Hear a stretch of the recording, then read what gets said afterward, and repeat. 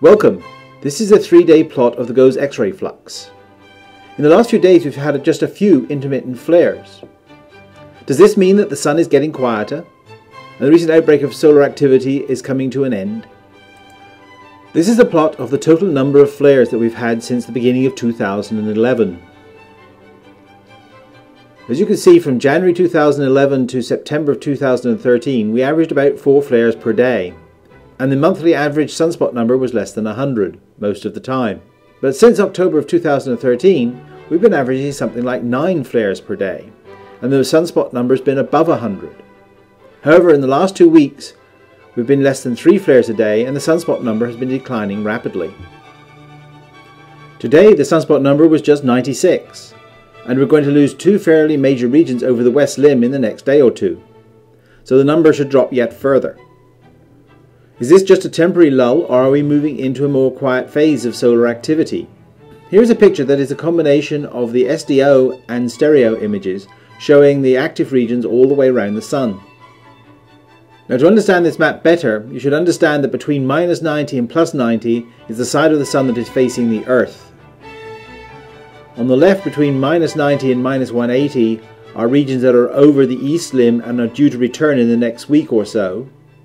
And the regions from 90 to plus 180 are regions that have recently rotated over the west limb and are not due back for a couple of weeks.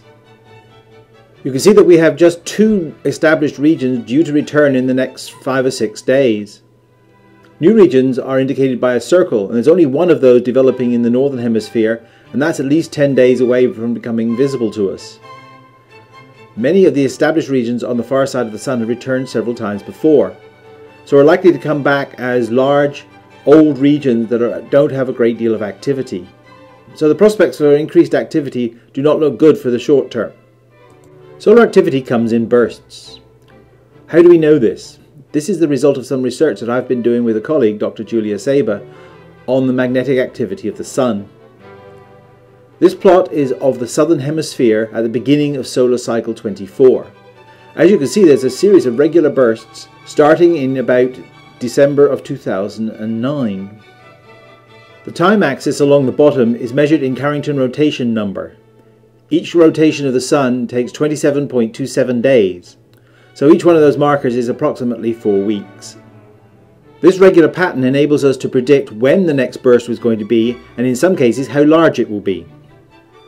So the million dollar question is, when will the next burst be?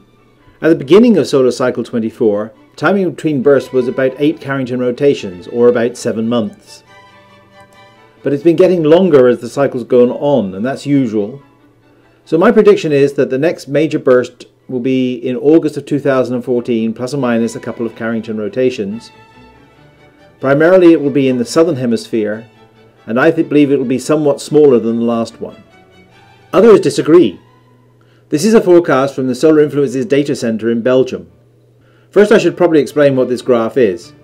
In yellow is the daily sunspot number, in blue is the monthly average sunspot number, and in red is what is called the smooth sunspot number, which is a 13 month running average. The dotted and dashed curves to the right are their predictions of what will happen in the future. The dotted curve is their standard model and agrees rather well with what Dr. Saba and I have come up with for our estimate. However, the dash curve now puts solar maximum in late 2014 or early 2015. The last few cycles have been relatively short, averaging about 10 and a half years.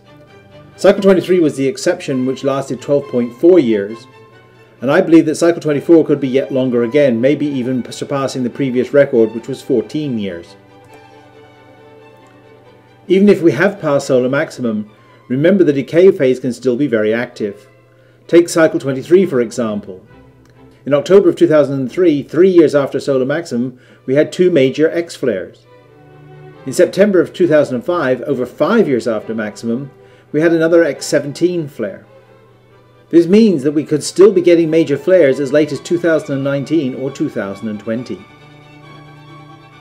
For those advocating a new Maunder minimum being upon us, this must be a very disappointing cycle. There's no sign of any Maunder minimum coming. The purple triangle here is where I estimate solar cycle 24 will end up. And you can see it's about in the middle of the pack, it's a sort of an average cycle. Now, if you mark all the cycles that uh, were at this level or below, you can see that most of them were followed by a cycle that was larger. Those are the ones marked in green. Only three of them marked in blue were followed by a yet lower cycle. Similarly, if you looked at the higher solar cycles, you would find that they were generally followed by a lower one. This phenomenon is called regression towards the mean. Understanding the solar cycle is one of the most difficult problems in physics. Even the most sophisticated models are little more than educated guesses. Nobody can predict it reliably as yet. We're just going to have to wait and see who is correct.